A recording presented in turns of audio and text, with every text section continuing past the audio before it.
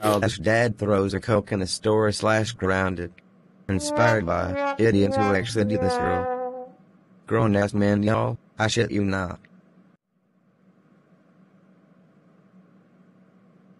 I got a bottle of Coke.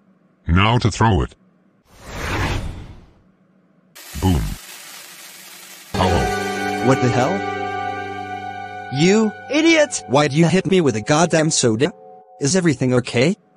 No, that idiot hit me with a two liter Coke bottle for no damn reason. Please, good sir, leave the store and do not assault random people.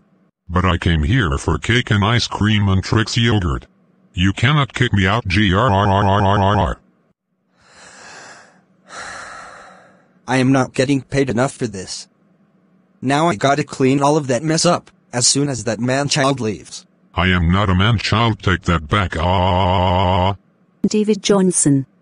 Catherine. What are you doing here? I followed you here because I figured you'd do something like that. Do you even know who that kid is you hit with the soda? Um, no. He is a former criminal gang leader who did heinous crimes before he was even 14. And now, he is 15, and his adoptive father is a police officer. No, Catherine.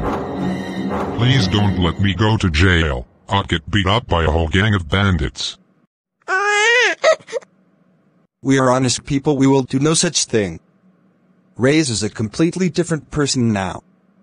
And instead of arresting your husband, instead he shall just be made to clean the mess he made up before he leaves. Oh my gosh! Thank you so much, this is deeply appreciated. Not a problem, miss. You didn't make the mess, so you should not have to clean it up. He just called me miss I pass in public. Hooray! The popcorn and donuts are on me today, Dan. Again, thank you so much. And thank you for the free food. Alright David Johnson, you heard what the man said. You must clean this mess before you are permitted to leave this premises. Now get some paper towels and start cleaning. That's right Dave. You must get this floor spotless. I shall go fetch a mop. Keep cleaning. This is so unfair.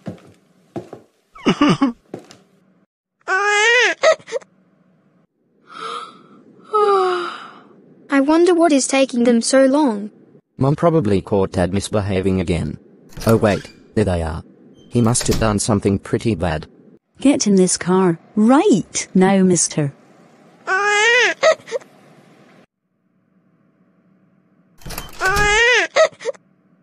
As soon as we get home, you are to go straight to bed. Do I make myself clear? Yes, Catherine. I'm sorry. Apology denied. Can we go back to the store and get cake and ice cream and Trix yogurt? No. Go to bed right now. I hate you. Wah wah.